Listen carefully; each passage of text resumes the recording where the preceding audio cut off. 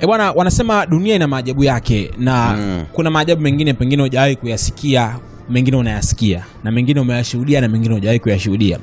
Sasa uh, leo BBC wameripoti mwanamke ambaye amejifungua Mm. yani mara mbili mfululizo ndani ya mwezi mmoja ya, kwa, kwa maana ya kwamba mwezi huu alijifungua uh, mtoto njiti Mm. lakini baada ya mwezi mmoja tena Mm. akaja kujifungua watoto mapacha wanasema ukistaadabu ya Musa yeah. Utayaona Firauni. mm-hmm. Ndio hiyo Sasa sasa. kiandika BBC kwanza wamesema mwanamke mmoja nchini Bangladesh Mm. amewaacha madaktari vichwa wazi baada ya kujifungua watoto mapacha takriban mwezi mmoja pekee baada ya kujifungua mtoto njiti. Mm. Madaktari waligundua kuwa Bi Arifa Sultana mwenye umri wa miaka 20 alikuwa na nyumba mbili za uzazi, kwa ina maana mifuko miwili ya uzazi ya. Sasa unajua maswali yanakuwa ni mengi na of course kila kitu kinawezekana, Yeah. lakini kama anajifungua njiti kwa mara ya kwanza mm -hmm. wao hawakuona kama kuna kitu ambacho kimebaki tumboni I don't know, hapo ndo mtihani sasa unapokuja.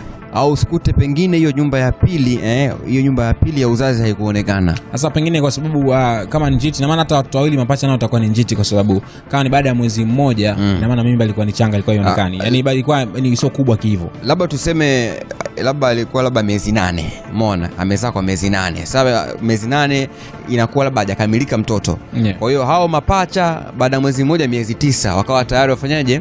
Wamekamilika maana najua hii miezi si miezi nane miezi saba tayari inakuwa mimba ijakuwa complete sana mpaka okay. mwezi wa tisa. Sasa pengine huu mwezi wa nane ilikuwa ndio katika formation zile akazaa njiti. Okay. swali ni kwamba kipindi anajifungua huyo njiti. Au mapacha wawili sasa walikuwa wako wapi?